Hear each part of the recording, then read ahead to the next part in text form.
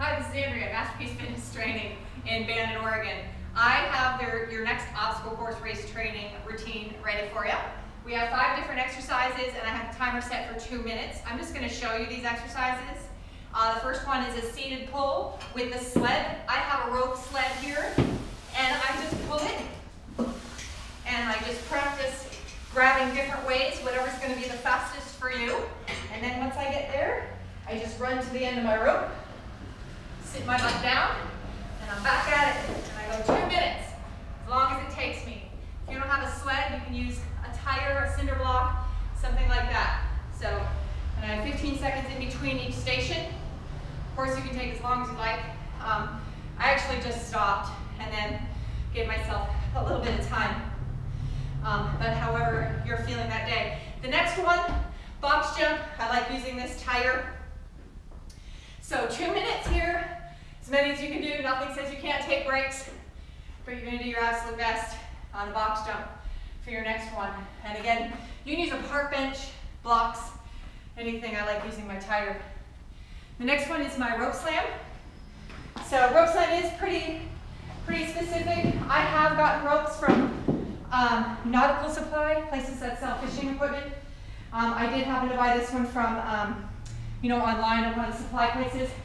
So two minutes, ending with the rope, and just to not occupy my time, I did uh, 30 slams with two arms, 30 alternate arm, and then I um, and then tried uh, some kind of grapple, something that's going to take you up a little bit, and then you can do circles.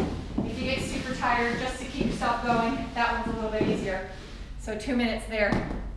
Okay, the next one we go outside. I have a sled push with my sled out here.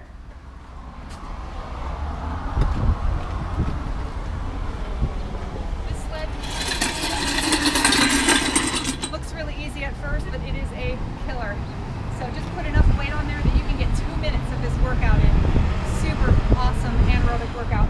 I go as far as I can, just flip around and push again. This sled just doesn't push from the other one, so I end up turning around, but whatever works for you. Um, so this sled, again, I bought online.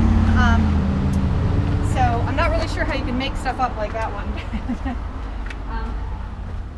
um, pushing is a little harder than pulling for, um, for coming up with stuff. Then the last one, I'm going to do a burpee. So I, I, I, actually did some, some plyo push-ups on here uh, to kind of cut down on my burpees. But the, um, the it, Spartan and things like that always include burpees. They want you to know how to do them, so I practice them. But I did some, um, some plyo push-ups here, and then I changed over to burpees. So most people can get in two minutes of burpees. I was actually just trying to spare my knee a little bit, work on some upper body strength. So there are your uh, five exercises for your next obstacle course race training routine. I'm Andrea at Masterpiece Fitness Training in Bandon, and I hope you liked the video. Thanks for joining me.